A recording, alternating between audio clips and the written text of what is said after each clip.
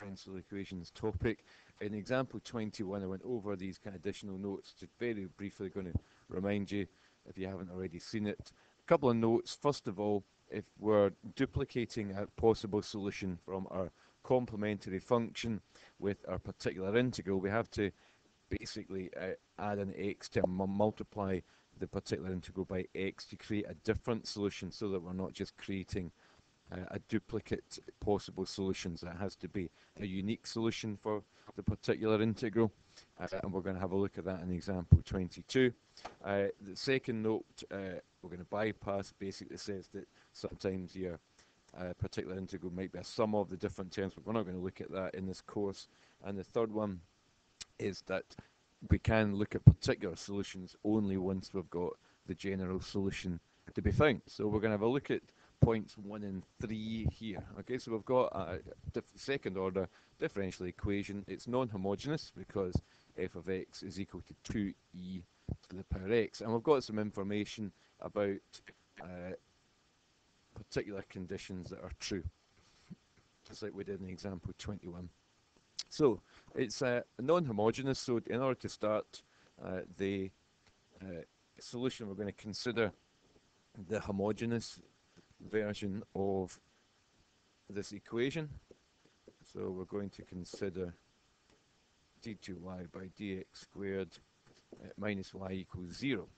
Uh, and in that case, the auxiliary equation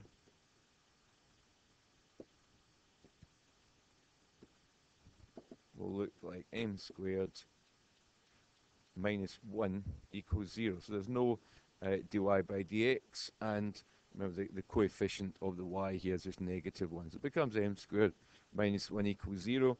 Uh, a quick check, again, you'll probably be able to uh, anticipate what's going to happen here. Uh, we've got the discriminant uh, tells us that b is 0. Um, there's no m term here. So 0 minus 4 times 1 times negative 1 it gives us a positive answer. So it's got real distinct roots.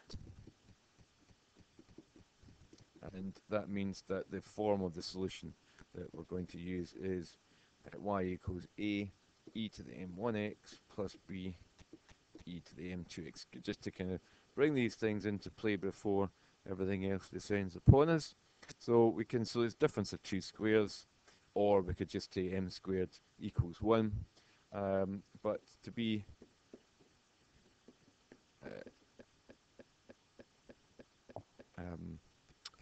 one of the solutions is we can just uh, different, uh, differentiate uh, uh, factorize was the word I was looking for. So uh, m equals 1 or m equals negative 1. So these are two values of m. Doesn't matter which one is m1 and m2. So our, well, it's not a general solution this time because it's non-homogeneous. So our first uh, part of the solution is going to be the complementary function.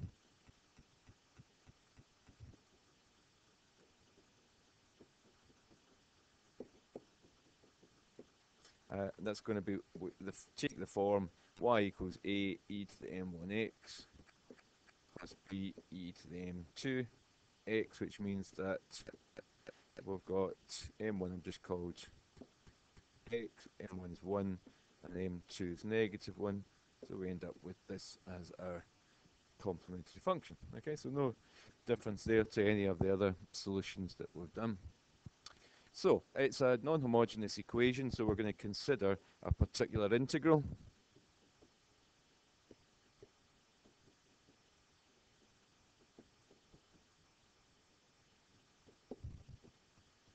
Um, um, because it's exponential, what have we got to start with? There we go. We've got 2e to the x, therefore uh, we need uh, some constant times e to the x. We're going to mirror the, the power of it, the power of the exponential, which is 1x. So we would normally say, because we've used constants a and b, I'm going to use constant c, and we would normally say, well, there's our particular integral, because e to the x is the same as the, the type of power in f of x. The only problem here is, as we can see, that we haven't actually created a unique solution, because c e to the x is of the same type as a e to the x, so just different constant term. So we have created effectively the same solution.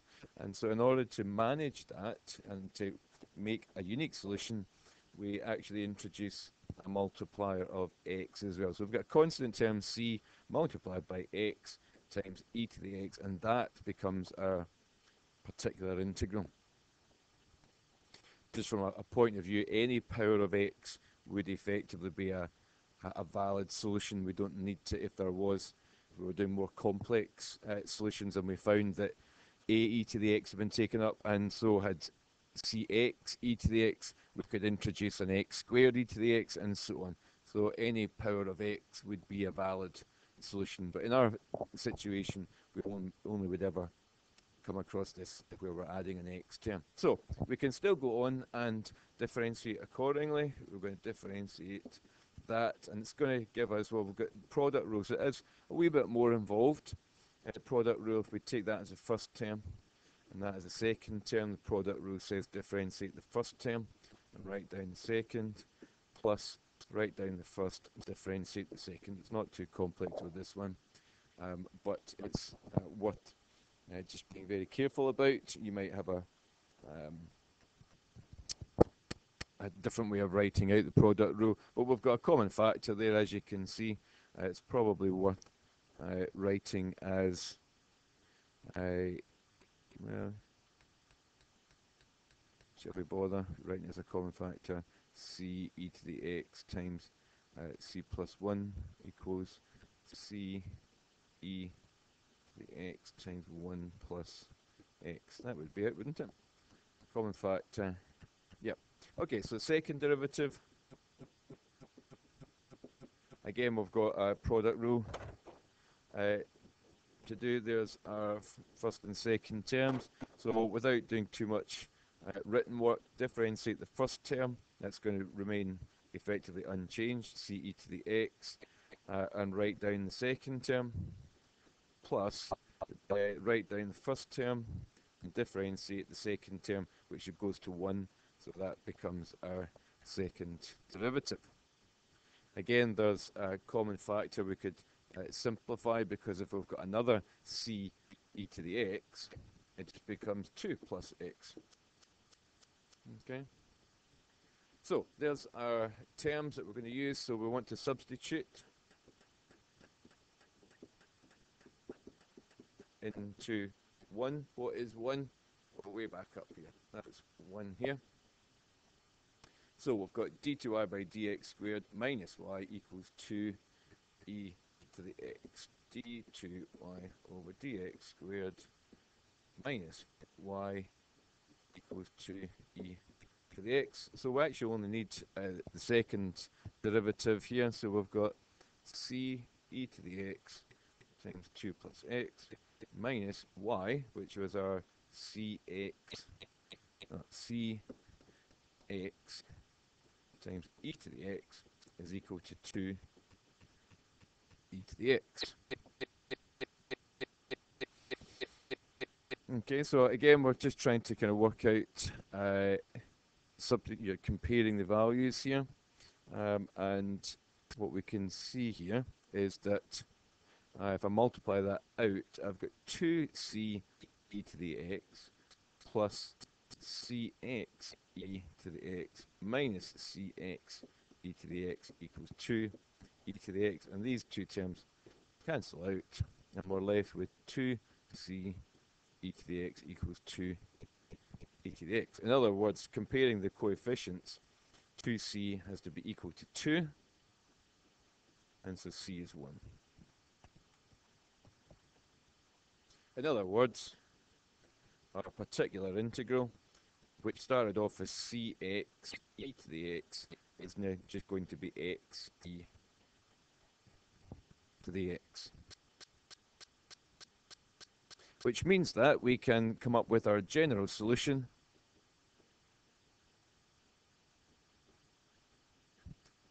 And the general solution, remember, is the complementary function plus the particular integral.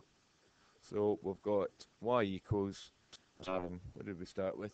We had a e to the x plus b e to the negative x. That's our complementary function plus our particular integral x e to the x. And there is our general solution. That's worth pausing for. Good, so that would be the end of the solution if and only if uh, we didn't have any more information, but we do. So we've got uh, two pairs of information. If we go skip back up to the top, uh, we're told that y is 5.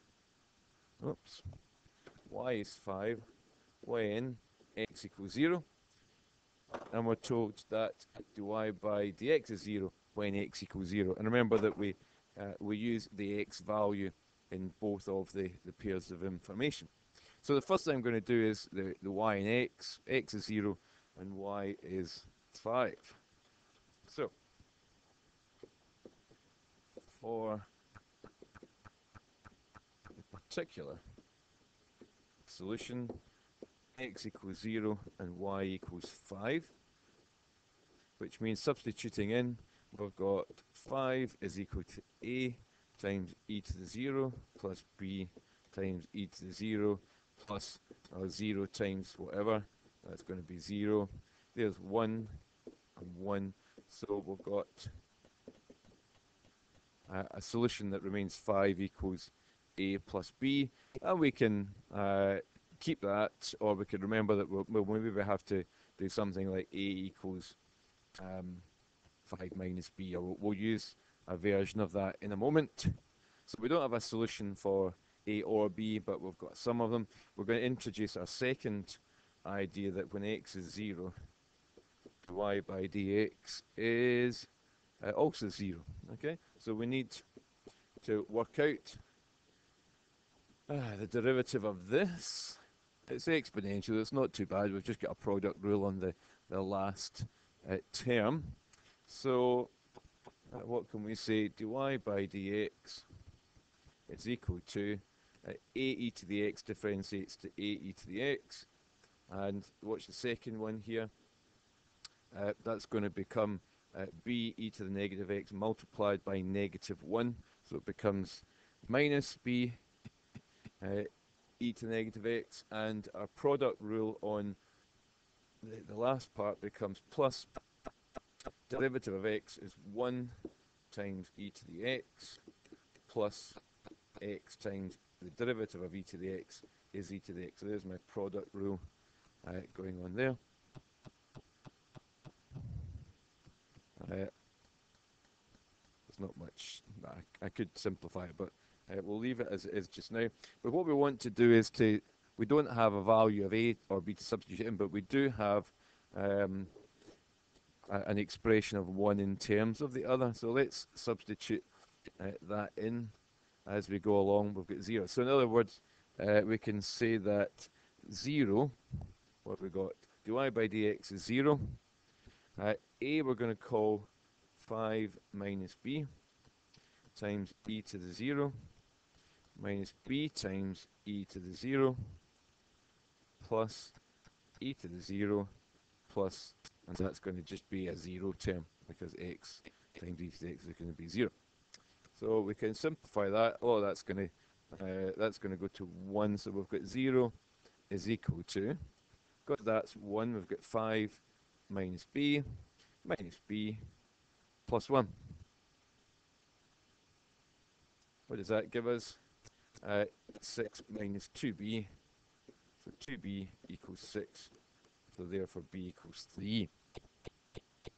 If b equals 3, a is equal to 5 minus b, so a is going to be 2. And we've got our two values of a and b. So sometimes you have to uh, create an expression of one variable in terms of the other and do a bit of substitution. There's nothing overly complex, but there's just a lot of wee stuff going on as far as even differentiating that function and getting the, the product rule uh, in there. There's lots of wee bits of maths to try and do. So, particular solution, particular solution. We've got everything to put together. We've got y equals, it was a, so it's 2 e to the x plus b e to the negative x plus our particular integral was x e to the x, and there is our particular solution.